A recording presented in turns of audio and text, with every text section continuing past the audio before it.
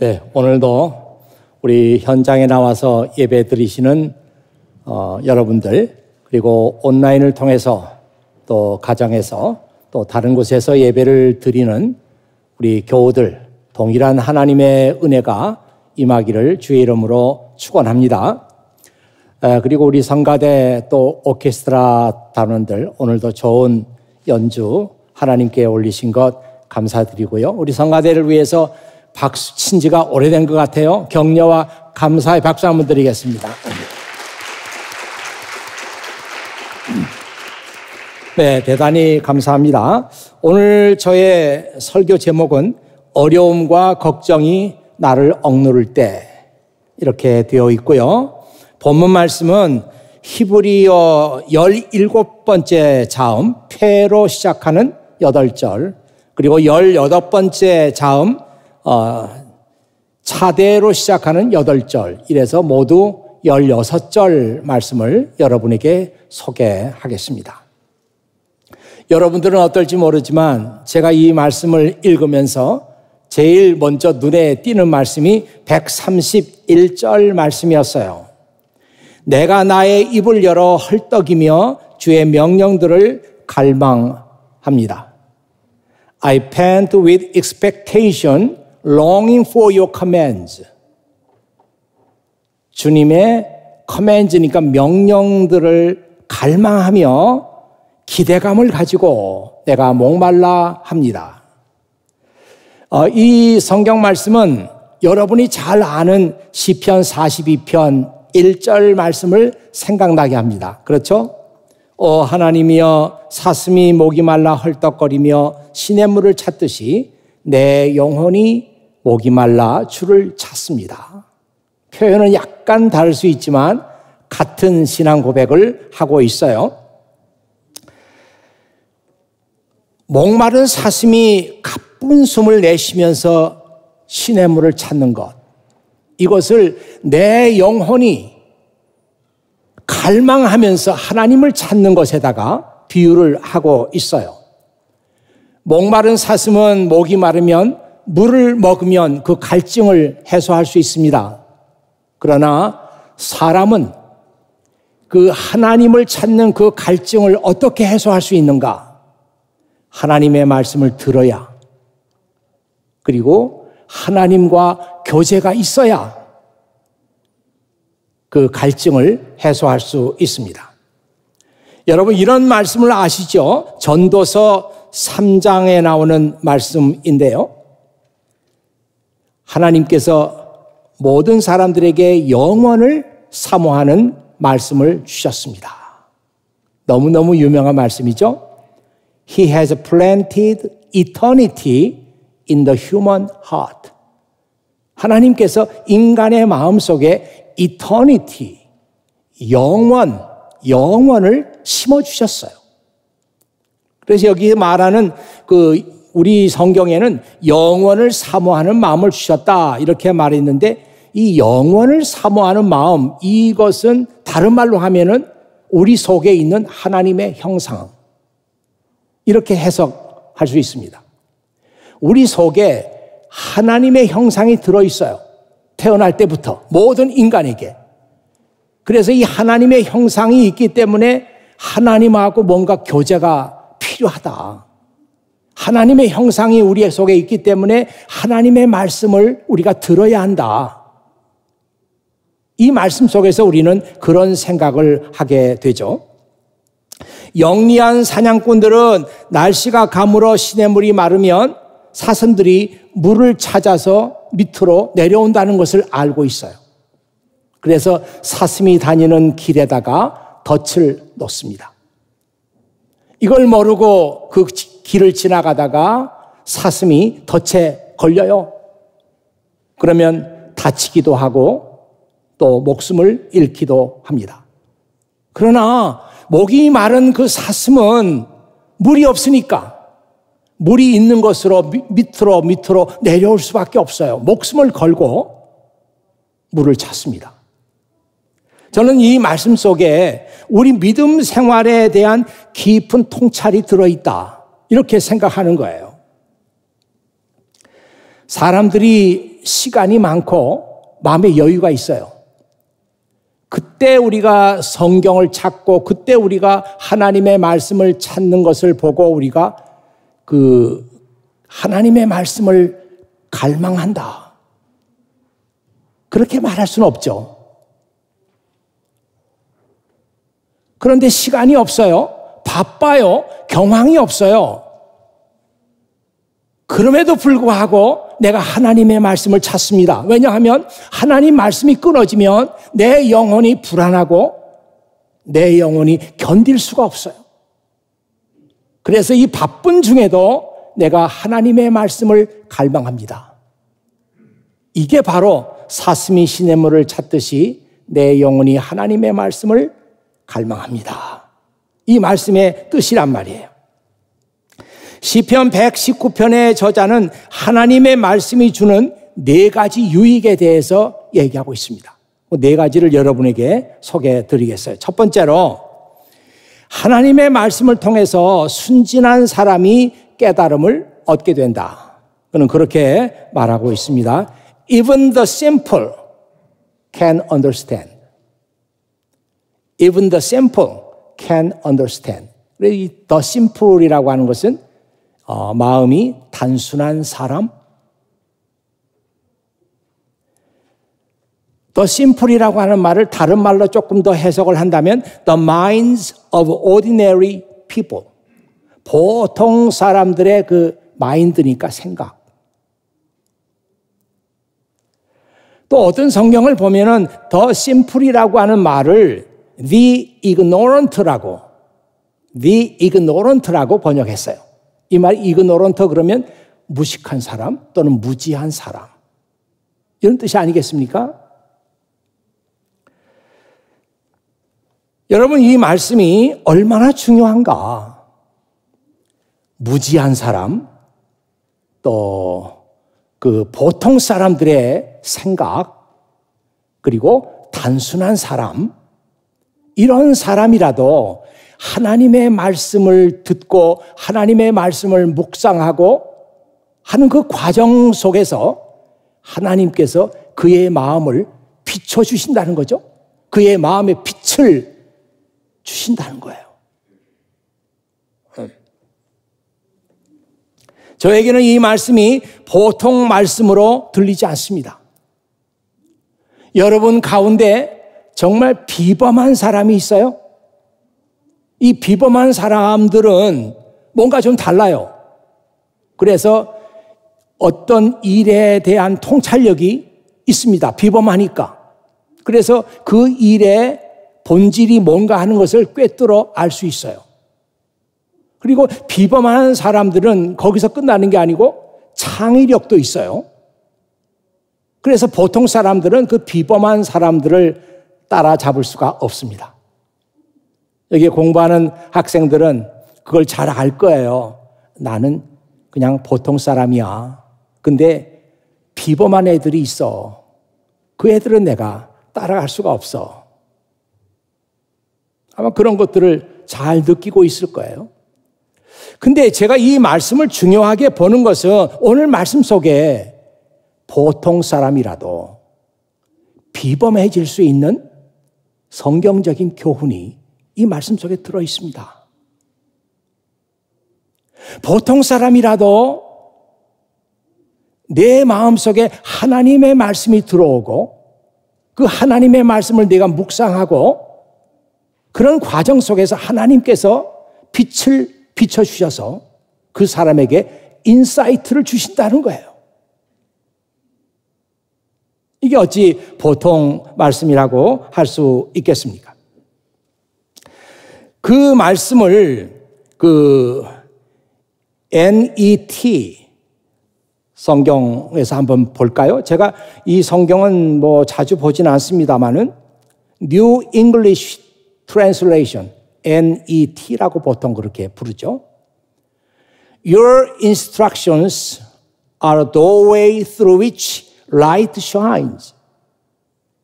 주님의 instructions. 그러니까 뭐 여기서는 말씀으로 번역해도 돼요. 주님의 말씀은 나에게 빛을 비춰주는 doorway니까 출입구와 같습니다. 네, 거기서 빛이 비쳐 나오는 거죠. They give insight to the untrained.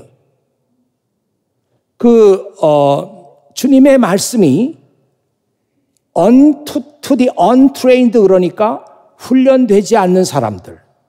이게 보통 사람들을 얘기하는 겁니다. 이 보통 사람들, 훈련되지 않은 사람들에게 insight를 준다. 이렇게 돼 있잖아요.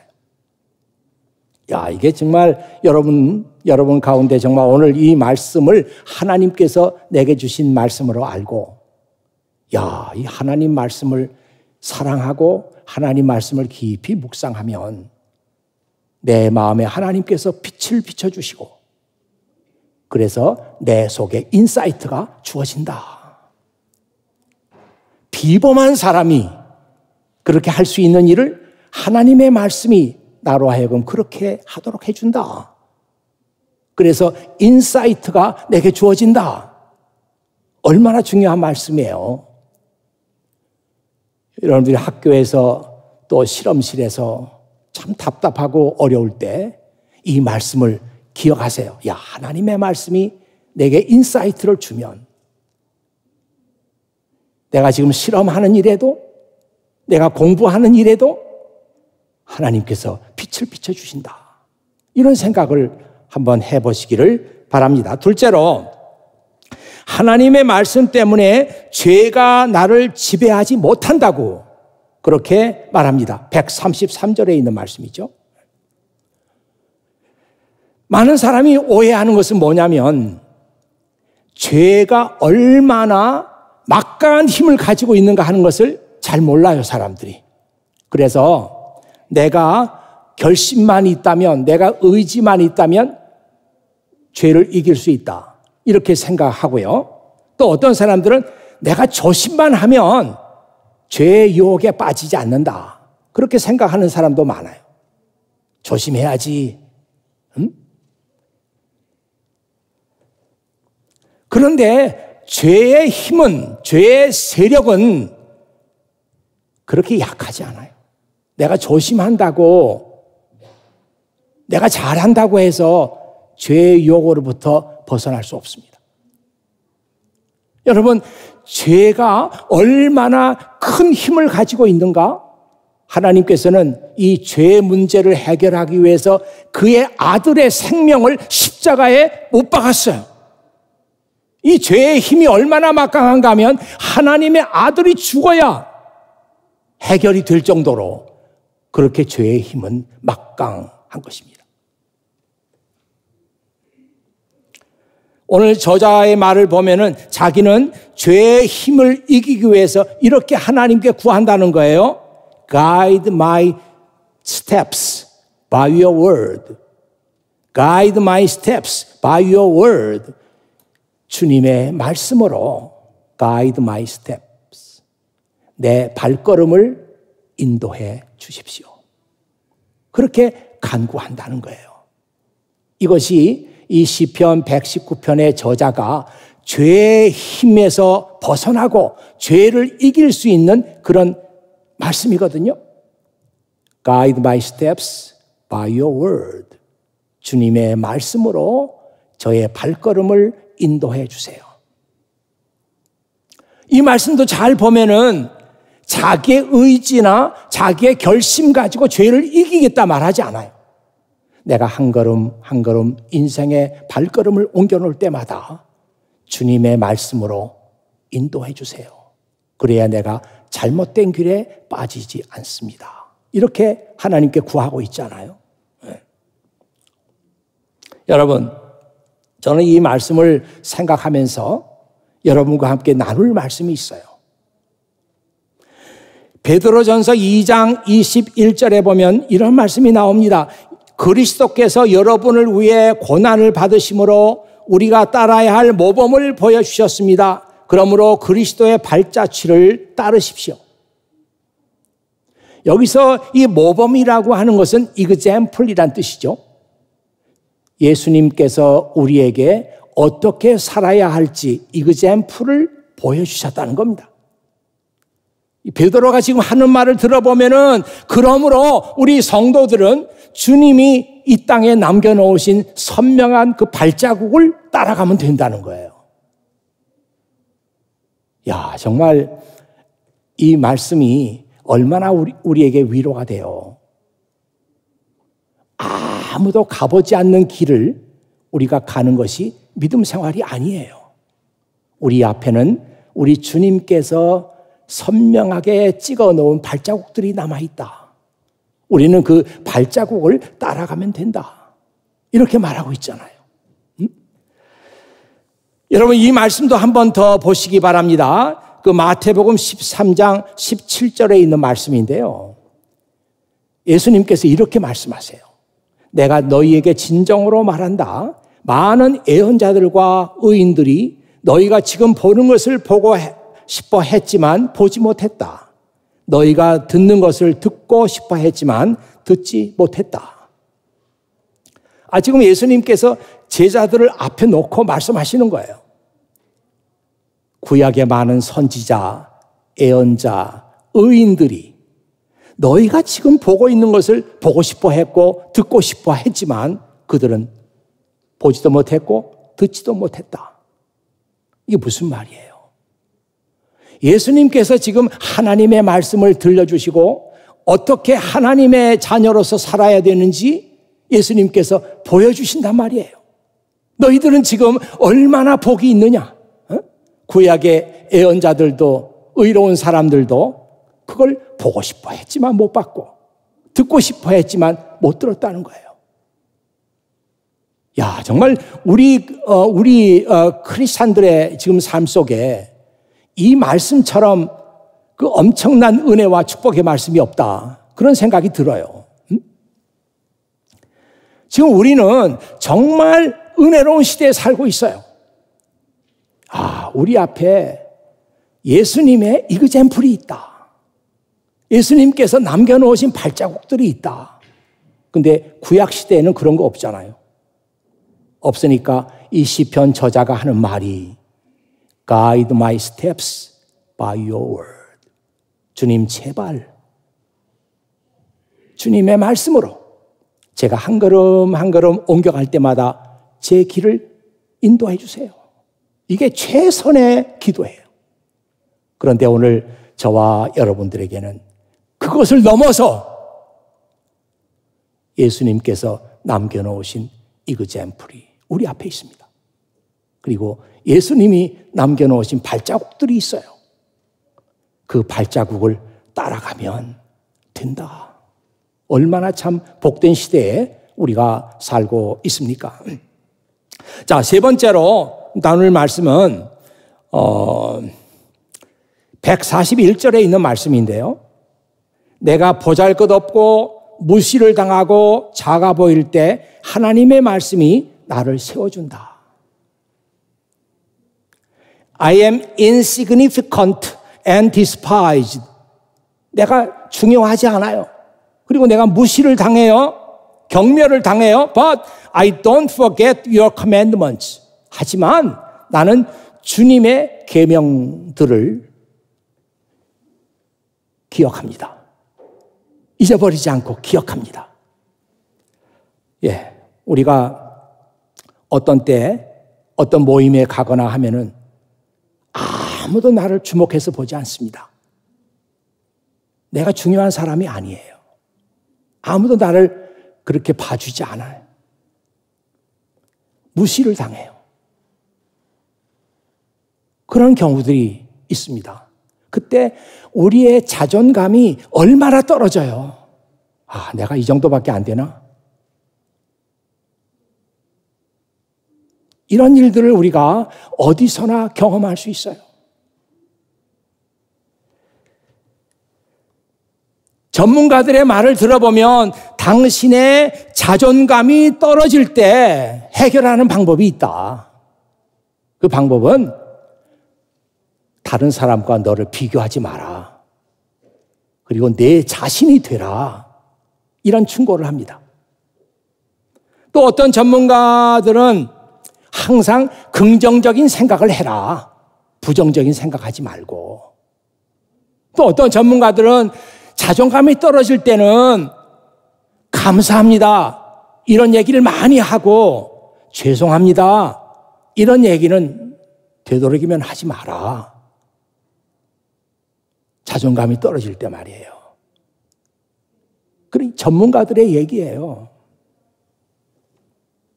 그런데 이 시편 119편의 저자는 내 자존감이 떨어지고 내가 중요한 사람이 아니야. 난 무시당했어. 이럴 때 말이죠. But I don't forget your commandments.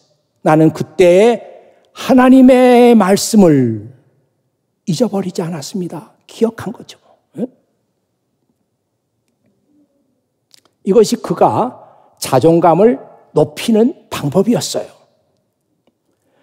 여러분 한번 생각해 보세요. 여기 그 쓰고 있는 단어가 uh, your commandment, your commandment, 주님의 계명들을 내가 생각했습니다. 이렇게 나오잖아요. 여러분 하나님의 말씀을 읽어보면은 나의 자존감을 높여주는 많은 말씀들이 있어요. 몰랐죠?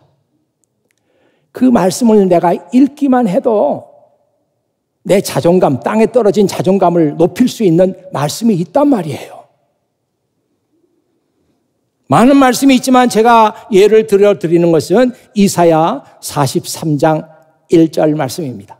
여러분, 자존감이 떨어질 때 막 거기서 헤어나오려고 이렇게 노력하는 대신 이 말씀을 기억하세요. 시편 저자도, 어, 어 저자도, 119편의 저자도 그런 방법으로 이 자존감을 회복하고 있는 거예요.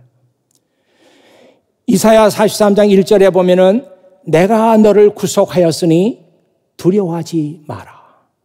내가 너를 지명하여 불렀으니 너는 나의 것이다. Do not be afraid. 두려워하지 마라. For I have ransomed you.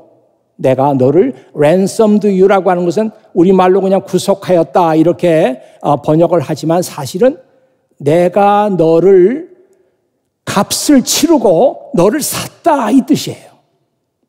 여러분 어디 가서 뭐 마켓에 가서 돈 내잖아요. 돈 내고 물건 받잖아요. 돈 내고 물건 받는 순간 그것은 내 것입니다. 하나님께서 여러분을 돈을 치르고 사셨어요. 그리고 내가 너의 이름을 지명해서 불렀어요. 누구 누구야? 누구 누구야? 이름을 부르시는 거예요? 내가 너를 구속했다. 이제 너는 내 것이다. 그 얘기거든요. 아무리 우리 자존감이 떨어진다고 해도 하나님께서 너는 내 것이다. 이렇게 말씀하세요. 내가 자존감이 떨어져 가지고 고개를 들지 못하고 어, 처박혀 있는데 말이죠. 내가 너를 구속하였으니 그리고 내가 너를 지명해서 불렀다. 너는 내 것이다. 하나님께서 너는 내 것이라고 말씀하시는데 더 이상 무슨 말이 필요하겠어요? 제가 이 말씀을 준비하는데 저 머릿속에는 이 말씀이 떠올랐습니다. 로마서 8장 31절 또 33절에서 44, 34절 말씀인데요. 하나님께서 우리 편이시라면 누가 우리를 대적하겠습니까? 누가 하나님께서 택하신 사람들을 고소할 수 있겠습니까? 하나님께서 우리를 의롭다고 하시는데 누가 감히 우리를 판단하겠습니까?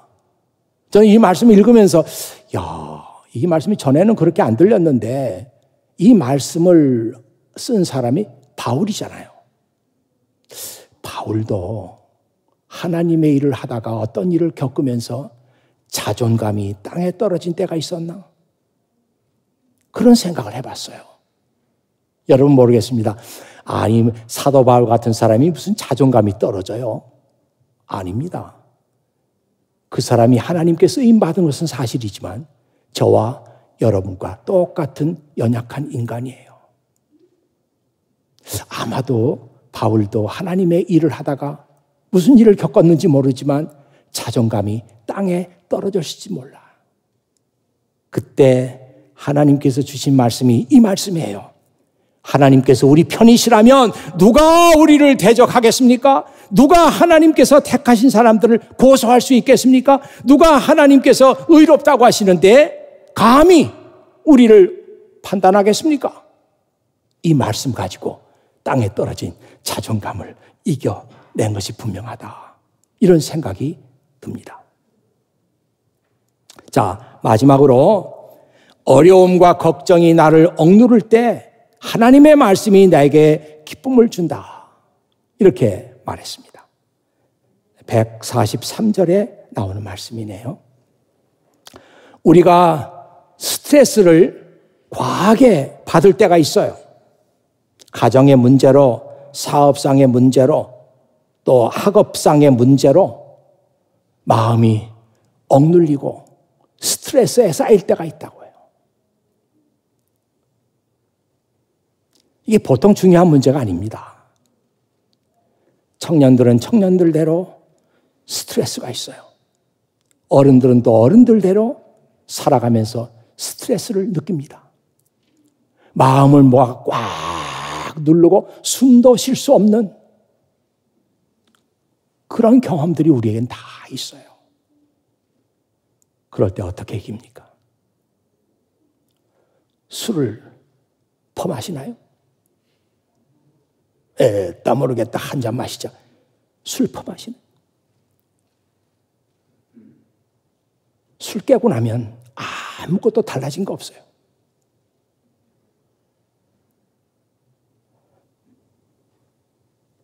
제가 그런 얘기 많이 들었거든요. 공부하는 학생들이 일주일 내내 스트레스 받다가 주말 되면 뭐 이 집 저 집 모여가지고 코가 삐뚤어지게 마시는 집들이 많다고. 그래서 해결됩니까? 아니에요. 음. 이 허프 포스트라고 하는 그런 그 인터넷 잡지가 있는데요. 거기에 읽을 만한 글들이 많이 올라오잖아요. 뭐 전 세계에 있는 그런 뉴스도 접할 수 있고 옛날에는 그 허핑턴 포스트라고 그렇게 이름 붙였는데 최근에 이제 허프 포스트로 이름이 바뀌었어요. 여기에 2014년에 어, 그 올라온 글인데 스트레스를 해소시킬 수 있는 100가지 방법이 있다. 그래서 읽어보니까 진짜 100가지 방법을 소개하고 있어요. 뭐 100가지 읽어보니까 그 읽으려 그래도 시간이 많이 가요. 그 중에 제가 좀 눈에 들어오고 그럴듯하다 한 거 10가지를 한번 뽑아 봤거든요. 100가지 중에서. 첫 번째 방법이, 어, 스트레스가 심할 때 6분간 책을 읽어라. 하지만 견딜 수 없는 그 스트레스 속에서 제일 첫 번째 나오는 얘기가 6분간 책을 읽어라. 어, 그게 뭐 도움이 될까 싶은데 전문가들의 얘기를 들어보면 6분, 적어도 6분은 읽어야 돼요. 그 6분 동안 책을 읽는 가운데 스트레스가 68%가 없어진대. 와. 괜찮은 방법이네요. 누구 만날 필요도 없고 자기가 한번 해보면 되는 거죠. 음. 자, 두 번째는 어, 음악을 감상해라. 근데 음악 가운데서도 모차르트 음악을 감상을 해라. 이것이 그 의외로 스트레스 해소에 많은 도움이 어, 된다고 합니다. 그 1993년 그 네이처라고 하는 과학 전문 잡지에 그 University of California Irvine에서 교수로 있던 프랜시스 라우셔라고 하는 교수팀에서 연구 결과를 내놨는데 그 연구 결과를 보통 어, 짧게 얘기해서 모차르트 효과라고 모차르트 이펙트라고 그렇게 간단히 부릅니다. 그 네이처지에 모차르트 음악이 뭔가 스트레스를 해소하는데 큰 도움이 된다는 연구 결과를 내놓은 거예요. 한번 보실까요? 네이처지. 네, 이게 정말 제가 찾은 그때 실렸던 그 논문인데요. Music and Spatial Task Performance. 진짜 그 논문 제목은 그거예요. Music and Spatial Task Performance. 그 음악과 공간 작업 수행 이런 뜻이죠. 음악과 공간 작업 수행 이게 무슨 관계가 있느냐? 여기에 이제 모차르트 음악에 관한 얘기가 나오고 있습니다. 이 모차르트 음악은 잘 정리된 선율로 신체 안정을 꾀하는 부교감 신경을 자극해서 마음을 차분하게 가라앉혀주는 효과가 있다고 합니다. 그래서 모차르트 음악을 들으면 맥박수가 느려지고 피부 온도가 올라간다고 하네요. 음. 그리고 모차르트 음악은 학생들의 뇌 기능을 향상시켜 준대요. 그래서 모차르트 음악을 계속 들려준 학생들, 그리고 그렇지 않는 학생들을 이렇게 비교해 봤더니 모차르트 음악을 계속 들은 학생들이 그 성적이 40%나 더 향상이 됐다고 하는 그런 결과가 나왔다고 합니다. 뭐 그 외에 모차르트뿐만 아니라 바흐 음악 그리고 요한 슈트라우스의 음악도 스트레스 해소에 많은 도움이 된다고들 합니다. 그리고 세 번째 보면 다른 사람을 포용하기. 또 네 번째는 네 번째가 재밌어요. 교회 성가대에서 찬양하기. 아마 오늘 오케스트라 단원들하고 성가대원들은 스트레스 많이 날라갔을 거예요. 네. 축하합니다. 네. 그리고 어, 나도 성가대 들어가야지. 난 스트레스가 너무 많아. 그런 분들 환영합니다. 네. 그리고 어, 다섯 번째 보면 실제 행동으로 보여주기. 여섯 번째는 삶에서 가장 중요한 것이 무엇인지 생각하기. 일곱 번째는 새 소리나 바람 소리, 물 소리 등 자연의 소리를 듣기. 여덟 번째는 긍정적인 생각을 하기. 아홉 번째는 아침에 일찍 일어나기. 열 번째는 산책하기. 뭐 우리가 생각할 수 있는 것들이에요. 근데 100가지나 있는데 그다 제가 읽어봤어요. 읽어보고 어, 한 10가지 정도로 이렇게 간추려 봤습니다. 음. 자, 그런데 이건 이제 일반적으로 전문가들이 하는 얘기고 이 시편 119편의 저자는 자기에게 주어지는 중압감과 그 스트레스를 어떤 방법으로 이겨냈는가? 하나님의 말씀으로 이겨냈습니다. 이렇게 나오죠. I find joy in your commands. I find joy in your commands. 야, 이게 좀 기가 막히더라고요. 이 commands라고 하는 말이 다르고 commandment라고 할 때가 다르고 그냥 하나님의 말씀이라고 할 때가 좀 다르잖아요. 이 command는 명령이에요. 나는 하나님의 명령 속에서 기쁨을 발견합니다. 그러니까 이 시편 저자가 지금 얘기하고 있는 것은 내가 스트레스 쌓이고 중압감에 시달릴 때 나는 성경을 펴서 하나님의 말씀을 읽습니다. 그 중에도 하나님께서 이렇게 이렇게 하라고 하는 명령의 말씀들을 읽는 거예요. 그 하나님의 명령하신 것들을 내가 읽고 묵상하고 그리고 그것을 실천하는 그 과정 속에서 나에게 큰 기쁨이 주어진다는 거예요. 이 기쁨 가지고 나는 스트레스도 날려버리고 중압감도 다 이겨내고 있습니다. 이렇게 지금 얘기하고 있는 겁니다. 여러분, 하나님 말씀 읽으면서 그 말씀이 내게 기쁨을 주는 이것들을 경험한 적이 있어요? 경험하신 분들은 됐어요. 그 기쁨 가지고 여러분의 삶에 어떤 스트레스가 주어지든 중압감이 주어지든 이길 수 있습니다.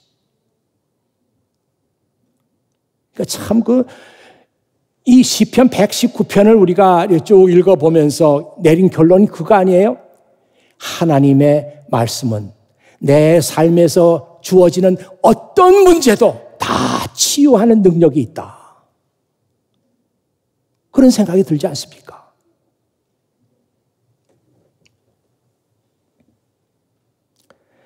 도대체 이 기쁨이 얼마나 큰 기쁨이길래 이것 가지고 중압감과 스트레스를 이길 수 있다고 말하는가?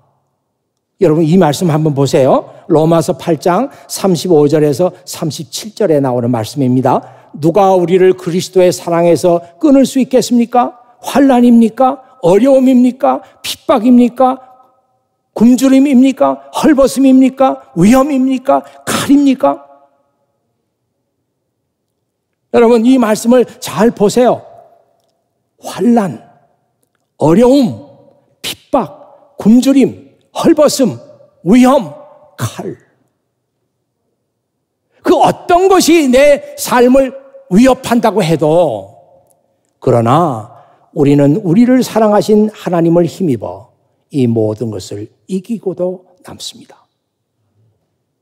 로마서 8장 35절에서 37절에 있는 말씀이에요. 저는 이 말씀을 생각하면서 이 시편 저자가 지금 자기에게 주어진 엄청난 중압감과 스트레스를 이기는 방법도 바로 이것이구나. 하나님의 명령들을 묵상하고 그 명령들을 생각해보고 명령들을 실천해 가는 과정 속에서 하나님이 주시는 엄청난 기쁨. 이 기쁨은 순종의 기쁨이죠. 하나님 말씀을 순종하는 데서 오는 기쁨이에요. 이 기쁨 가지고 나는 나의 모든 스트레스를, 모든 중압감을 이기고도 남습니다. 이렇게 지금 시편 저자가 우리에게 고백하고 있는 거예요. 저는 여러분들이 이런 그 하나님의 말씀에서 주어지는 기쁨, 은혜, 감사, 감격, 이걸 여러분들이 알기를 원해요. 이것만 잘 알면 이 기쁨 가지고 다른 모든 것들을 충분히 이겨나갈 수가 있습니다.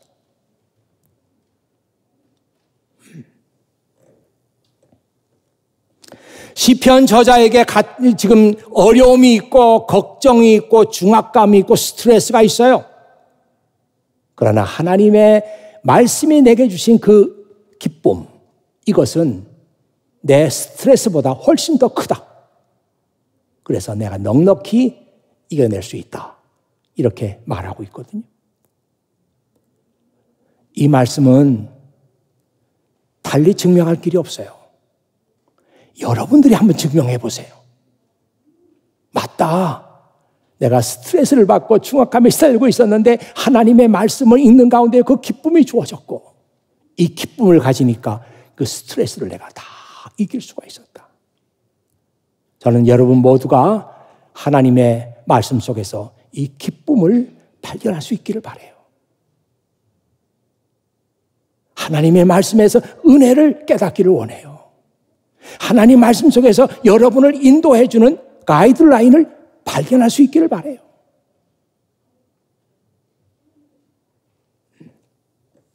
같이 기도하겠습니다.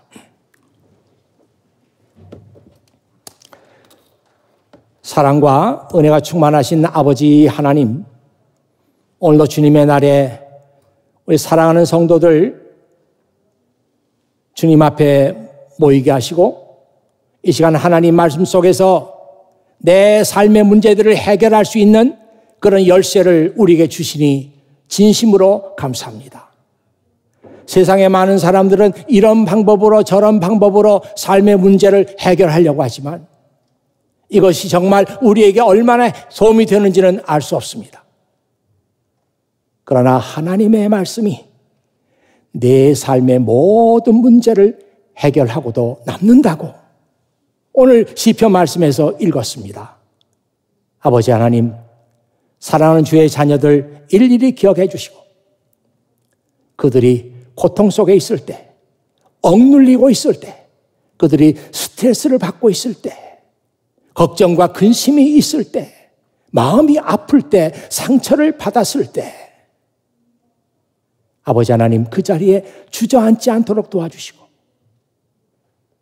하나님 말씀을 들고 하나님 말씀을 읽을 수 있는 그런 용기를 아버지 하나님께서 허락해 주시고 그 가운데 하나님께서 부어주시는 은혜와 기쁨과 감사를 경험할 수 있도록 아버지 하나님께서 도우시기를 간절히 바라옵고 원합니다.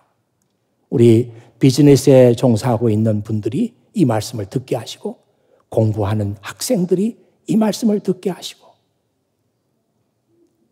하나님의 은혜와 하나님의 사랑으로 나는 모든 것을 이기고 남습니다. 우리 입에서도 그런 고백이 나오게 해 주시옵소서.